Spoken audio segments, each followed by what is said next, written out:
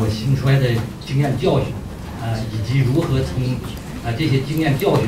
来看待呃近些年来呃中国海权的发展方向。呃，大家知道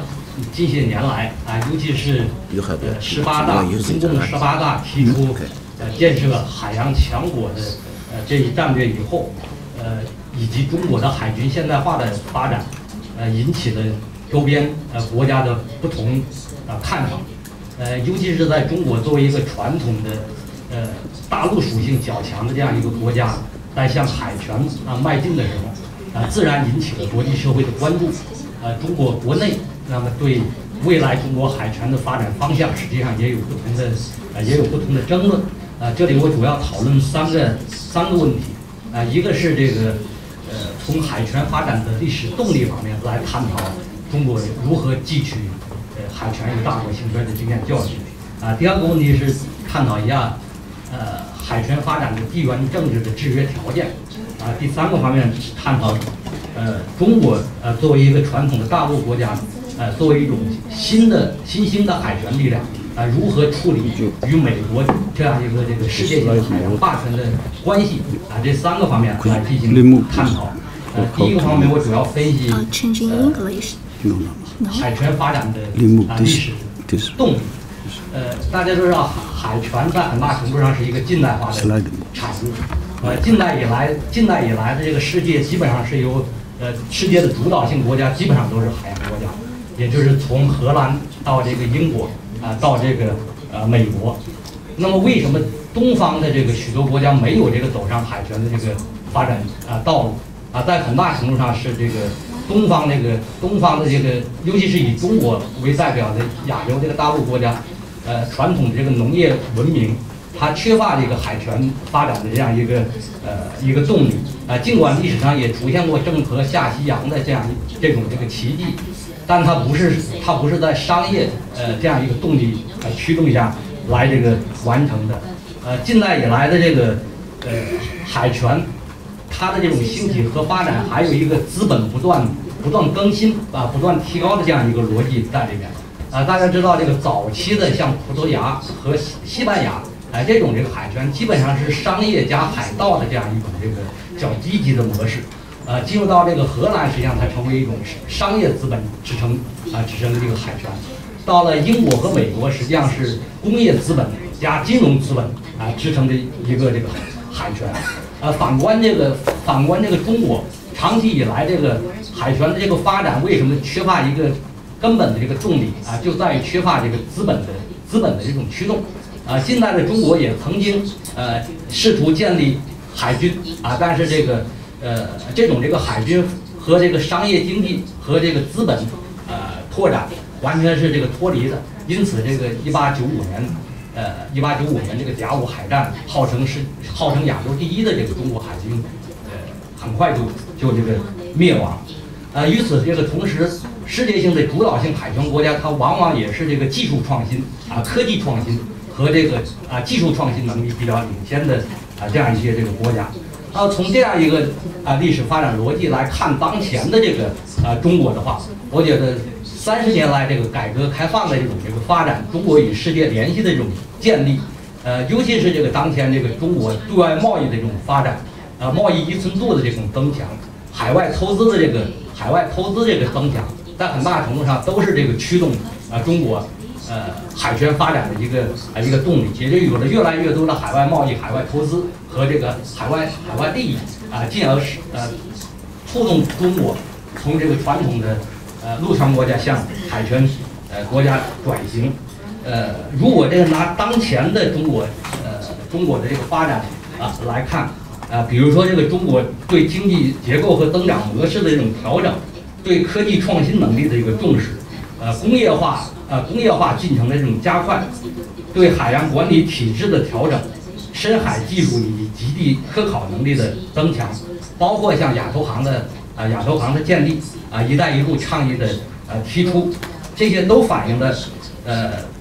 反映了这个改革开放几十年来这个呃由于这个中国它发展啊模式，尤其是跟世界联系方式的尤其是背后这个巨大的这种资本啊动力这个啊驱动，反映了中国要建立一个综合性海洋强国的这样一种呃一种这个发展方向啊。当然，这个在这个过程中，呃，还面临着很多这个呃挑战。呃，时间关系不展开。那么，我想探讨的呃第二个问题就是，呃，海权它呃，尤其是对于中国这样一个具有大陆属性和海洋属性兼备的这种这个国家，它在向海权发展过程中所受到的这种地缘呃政治呃制约，呃，中国呃作为这个海陆兼备这个国家，呃，如果从历史上来看的话，欧洲也有这些国家，像这个法国、德国。啊，在历史上也都曾经这个它的主要属性实际上也是大陆属性，啊，但是也曾追求啊追求这个海权，但是在这个过程中实际上是呃遭遇了有很多失败的教训可供呃中国啊汲取，呃，对于这个海陆兼备的国家发展海权，它的这种困难就远远超过一种纯粹的海洋性国家啊发展海权的这样一个呃条件啊限制。那么为什么？主要在很大程度上，这个陆海兼备的这种国家，它往往面临选择方向上的困难，也就是呃，向陆地方向发展还是向海洋方向发展。同时，它可以，同时它很容易在海洋方向和陆地呃方向两个方向这个呃，就是说这个这种这个呃危机，近代中国就体现的比较突出，也就是海防和在防的这个同时危机，那么是近代这个中国。陷入衰弱一个很重要的原因。另外，这种国家它也容易导致战略资源的这种分散化，也就是要往不同的方向来投放啊国家的来投放国家的资源。因此，陆海复合国家在向海权发展的过程中，就对呃国家呃领导者提出了更高的这种战略智慧的这种呃更高的战略智慧的这种要求。呃，对中国而言。呃，冷战时期实际上中国的主要的安全压力是来自这个陆地啊方向。呃，冷战后这个有所缓解啊，但是这种压力仍然没有排除。呃，近些年来实际上这个中国这个海洋方向的这种安全压力在这个不断呃不断这个呃增强，而且这个中国仍然这个有潜在的同时面临来自海上和陆上安全压力的这种呃这种这个风险。呃，我觉得可以从这个陆海平衡的角度来解读当前的一带一路的一带一路的战略。一带一路战略在很大程度上就是要统筹陆海两个发展方向。那么陆地方向实际上就是丝绸之路经济带，海上方向只是二十一世纪海上呃丝绸之路，而中巴经济走廊和这个中印孟缅经济走廊，恰恰是要用这两个走廊把把这两条这个啊路上这个。陆上这个丝绸之路经济带和海上丝绸之路啊连啊连接在啊连接在一起，这个反映了呃目前的中国呃尤其是这个新一届的领导集体呢力力图把这个海洋方向和陆地两个方向统筹起来发展的这样一个战略思维，呃当然这背后也存在着非常大的地缘政治的啊风险以及安全的这种呃压力，呃最后我想探讨第三个方面的问题是呃。中国作为一种新兴的海洋权力，它如何来处理和传统的海洋霸权美国的关系？呃，最近几天大家也都看到了，在这个中美在南海的这样一种这种啊这样一种一个令人焦灼的呃令人焦灼的啊这样一种呃态势。啊，在历史上，呃，作为大呃作为这个大陆性陆海兼备的这种国家，在向海洋方向发展的时候，往往都会遭遇到这种这个。呃，既有的海洋霸权国家，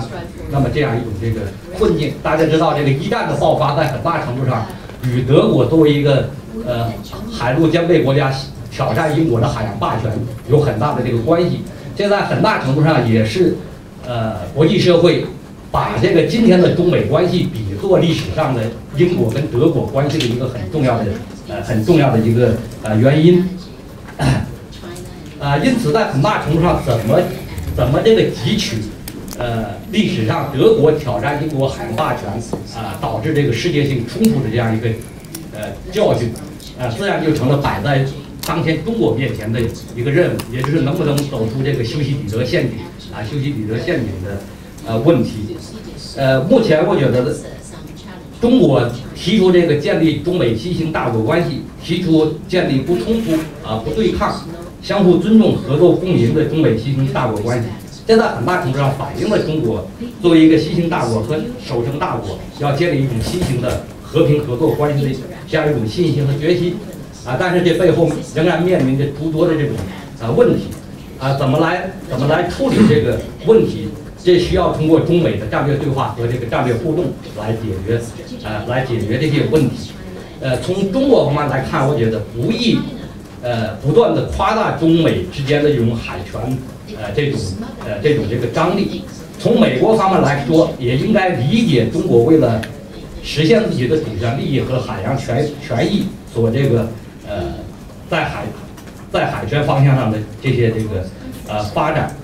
呃，美国应该看到这个中国发发展海权，更多的是